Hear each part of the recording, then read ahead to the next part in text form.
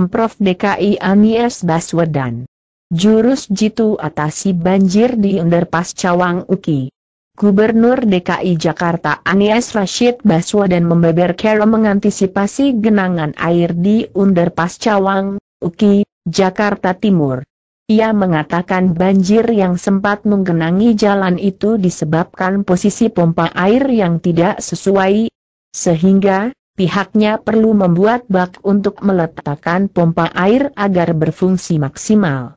Jadi kemarin lihat di underpass Suki, di situ ada pompa, pompa diletakkan di samping jalan. Jadi pompa di samping jalan itu, fungsinya menyedot air.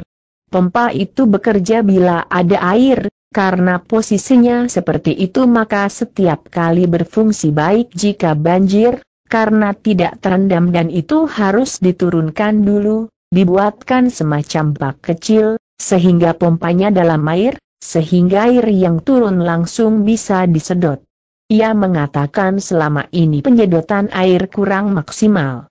Tapi sekarang kurang dalam, bak, airnya menggenang dulu baru bisa disedot. Karena pompanya berfungsi kalau ada air. Kalau gak ada apa yang disedot angin. Karena itu harus diturunkan dulu, ujar Anies.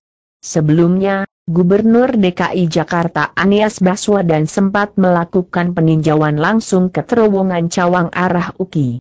Saat itu, Anies menilai membuat kolam menjadi care untuk mengantisipasi genangan di underpass Cawang. Air yang mengalir ke arah underpass nantinya disedot menggunakan pompa air ke kolam sedalam 3 meter. Pemprov DKI Anies Baswedan Jurus jitu atasi banjir di Underpass Cawang Uki. Gubernur DKI Jakarta Anies Rashid Baswedan membeber cara mengantisipasi genangan air di Underpass Cawang, Uki, Jakarta Timur.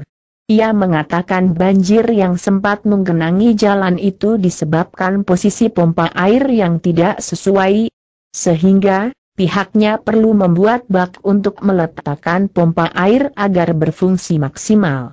Jadi kemarin lihat di underpass Suki, di situ ada pompa, pompa diletakkan di samping jalan. Jadi pompa di samping jalan itu, fungsinya menyedot air. Pompa itu bekerja bila ada air, karena posisinya seperti itu maka setiap kali